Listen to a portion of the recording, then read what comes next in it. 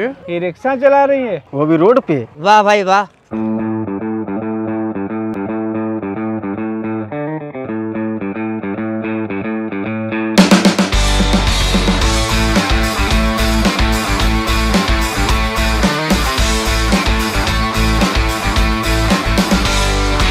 पुरुष चला सकते हैं क्या महिला नहीं चला सकती? है इसका नाम टोटो रखा है। ई रिक्शा टोटो भी कहते हैं।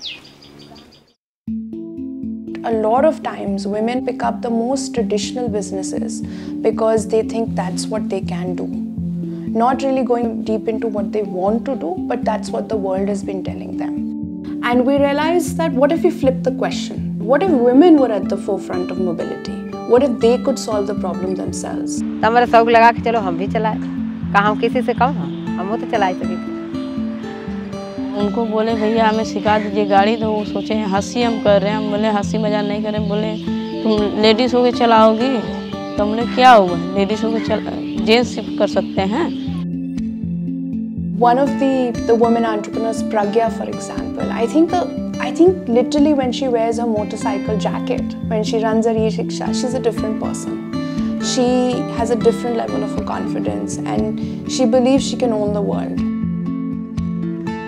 ऐसा महिला बाहर निकल के अपना काम कर रही है अपनी खुद के काम कर रही हैं ना खुद का पैसा कमा रही हैं किसी के से मांगने की ज़रूरत नहीं पड़ता है अपने ज़रूरतों को अपना खुद का काम कर रहे हैं। You know the confidence that comes from the fact that not just that i have a seat at the table that i'm making my own table.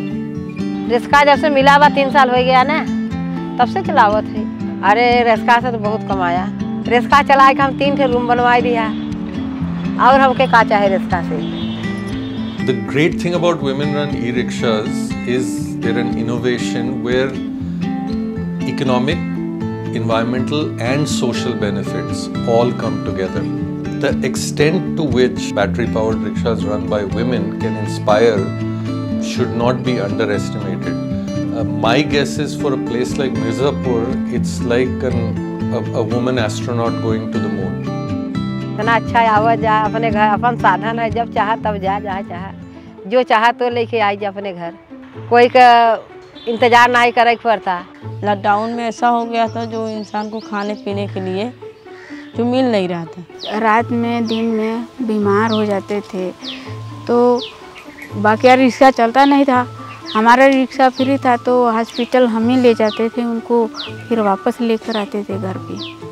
जब पुलिस वाले ने रोकते थे रास्ते में कि हमें यहाँ जाना है तो हमने कहा पुलिस वाले को बैठा लेते हैं सर बैठिए हम लेकर चलते हैं बहुत अच्छा लगता है हमको कोई संकोच नहीं है no problem We're convinced that there are many benefits that would be derived from the solidarity of having, let's say, 30 or 40 women in a town like uh, Mirzapur, is that uh, they strengthen each other's work.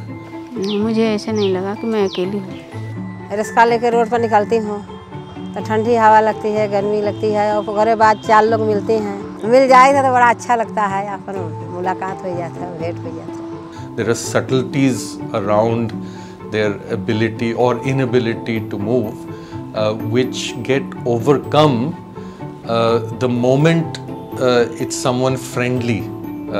uh, that's providing the transport. It's not an unknown person. And I think the most friendly person that could do that would be a woman from you know within the community. ऐसा होता है जैसे हमारे हमारे आगे कोई गाड़ी खड़ा है जेंट्स का हमारा पीछे से गाड़ी आ रही है तो उन लोग का गाड़ी रोकवाए रहेंगे मैं हमारी गाड़ी पर उन लोग बैठेंगे और औरतें कहती हैं जैसे तोहर मिला वैसे हम होके दिलवाई दे तो चलो भाई सीख ला तुम चलावा किसी भी काम रहे पीछे नहीं भागना चाहिए पीछे भागेंगे तो पीछे रह जाएँगे अब हाँ यहाँ विवाह की अब हाँ रिक्शा चलावा थे अब हाँ चार चक्का मिले चार चक्का चलाओ अब हाँ मिल जाए तो बड़ी गाड़ी और चलाओ I think the vision has not changed. I think perspective changed. And the more you co-create the solutions, you realize that these solutions lies with the community themselves. And so I think more than anything changing, our belief grew that there is a lot that can be achieved if we just find the solution in the community itself.